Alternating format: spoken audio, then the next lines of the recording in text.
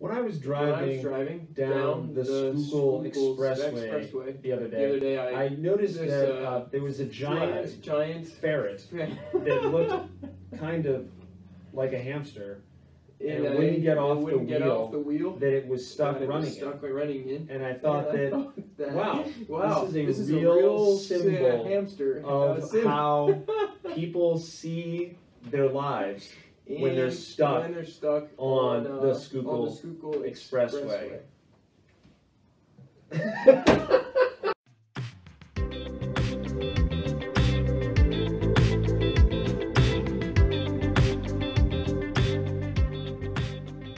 So why the title Meaningful Monotony? Uh, we chose that because we really felt like it corresponds to something we all experience, right? So there's different things that we do every day that are habits, right? Things that we do that we have to do every day. Um, uh, I think of something that is something we do frequently that we don't find monotonous. Something like eating, right? These are things that that's something we do every day that we always look forward to. We look forward to having a good meal. But there's other things we have to do every day that are not particularly delightful, and they do become very monotonous. Um, being stuck on Route One in traffic or something like that.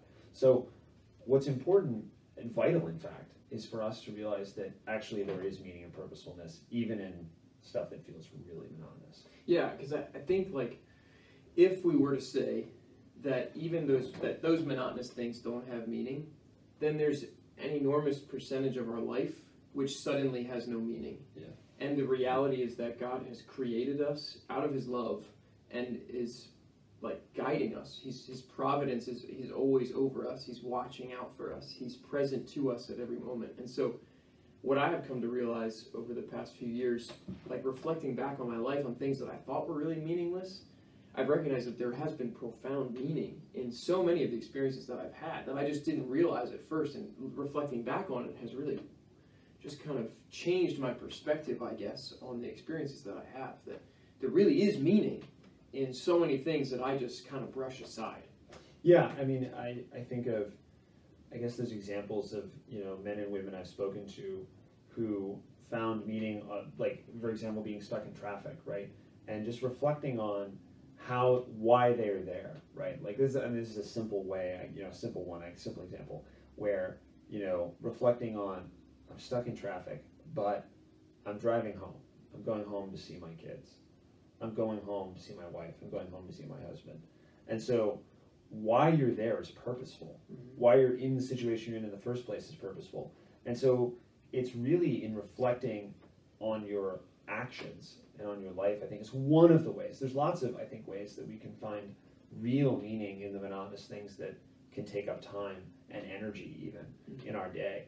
But I think that one of the simple things we can reflect on more, I know I need to reflect on more, is the purpose behind whatever it is that I'm doing. Yeah, Yeah. St. Paul, um, in one of his letters, he says that as Christians, we're, we're called to be transformed by the renewal of our minds, by like a renewal of the way that we think. Mhm. And so, incorporate into that is a renewal of the way that we see the world around us, that we see our own lives, that we see the people, like the way that I see Andrew or the way that I see Maddie, who's behind the camera.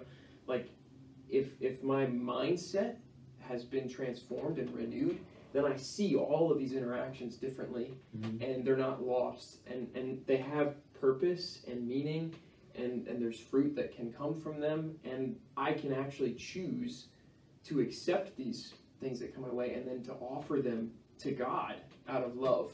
And they become like an act that I can offer to Him, which really brings a whole lot of meaning into things.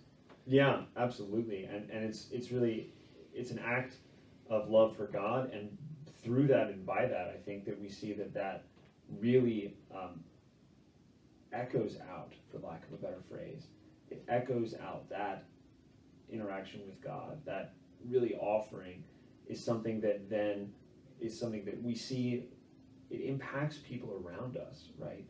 I mean, I think of you know parents who are picking up their kids from school and that's just the drive home right that's just the drive home that happens every day where you know it's one of the parents and the kids.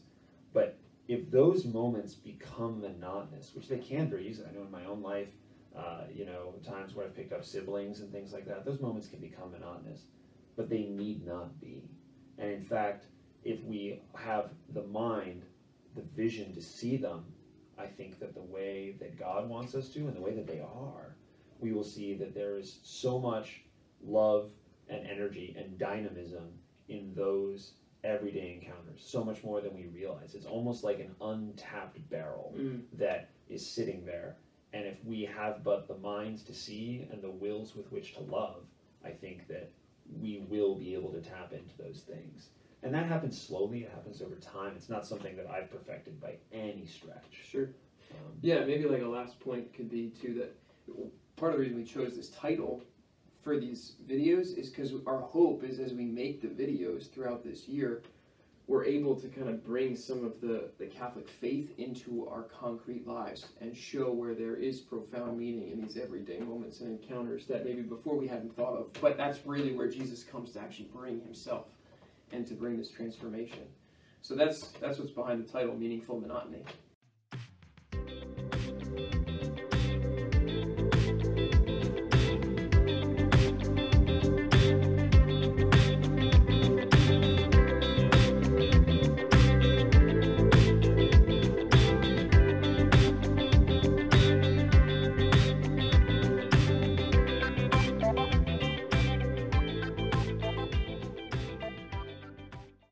Driving down the city line the other day.